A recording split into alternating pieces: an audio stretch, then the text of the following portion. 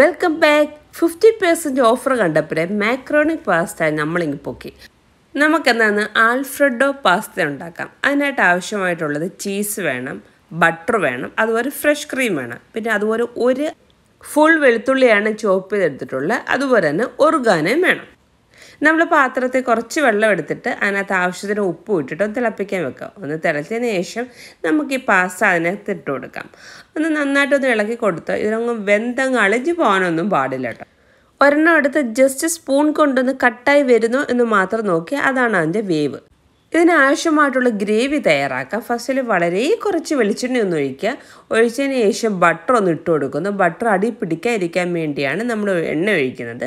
അപ്പോൾ butter full മെൽറ്റായതിനു ശേഷം അതിലേക്ക് നമുക്ക് കുറച്ച് ചില്ലി ഫ്ലേക്സ് ഞാൻ ഇട്ട് കൊടുക്കുന്നുണ്ട്. അത് കമ്പൽസറി ഒന്നുമല്ല. ഇവിടെ ഉണ്ടായതുകൊണ്ട് ഞാൻ ജസ്റ്റ് ഒന്ന് ഇട്ട് കൊടുത്തതേ ഉള്ളൂ. അതിനുശേഷം നമ്മൾ ചോപ്പ് ചെയ്ത വെളുത്തുള്ളി ഇട്ട് കൊടുത്ത് ചെറുതായിട്ടൊന്ന് ഇളക്കിയെടുക്കുക. ഏകദേശം ഒരു മിനിറ്റോളം ഇളക്കുക. അത് കറക്കാനൊന്നും പാടില്ല.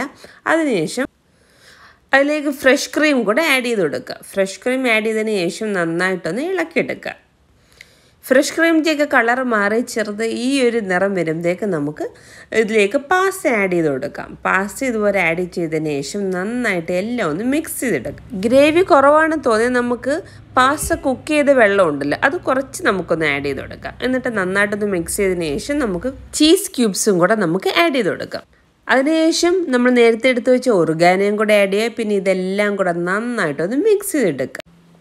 ഒരു പിഞ്ച് പെപ്പർ പൗഡറും കൂടെ ആഡ് ചെയ്തെടുക്കുന്നുണ്ട്. ചെറിയൊരു എരിക്ക് വേണ്ടിയാണ്. ആർക്കാണ് പാസ്ത ഉണ്ടാക്കിയ ആ കുട്ടി ഇവിടെ വന്നിരിക്കുകയാണ്. നമ്മുടെ സ്വന്തം പ്രണം എത്തിയിരിക്കുകയാണ് സ്കൂളിൽ നിന്ന്. ചീസൊക്കെ അടിപൊളിയായിട്ട് മെൽറ്റായി നമ്മുടെ പാസ്ത റെഡി ആയിരിക്കുകയാണ്. നേരത്തെ ഇളക്കുന്ന സമയത്ത് നമുക്ക് കുക്ക് ചെയ്തിട്ടുള്ള പുഴുങ്ങിയിട്ടുള്ള ചിക്കനോ അല്ലെങ്കിൽ വെജിറ്റബിൾസോ ഒക്കെ ആഡ് ചെയ്യാവുന്നതാണ്. അപ്പോൾ എല്ലാവർക്കും എന്റെ വീഡിയോ ഇഷ്ടപ്പെട്ടിട്ടുണ്ടെങ്കിൽ ഒന്ന് സബ്സ്ക്രൈബ് ചെയ്യുക. അപ്പോൾ ഇന്നത്തെ വീഡിയോ ഇത്രയേ ഉള്ളൂ. ടാറ്റ ബൈ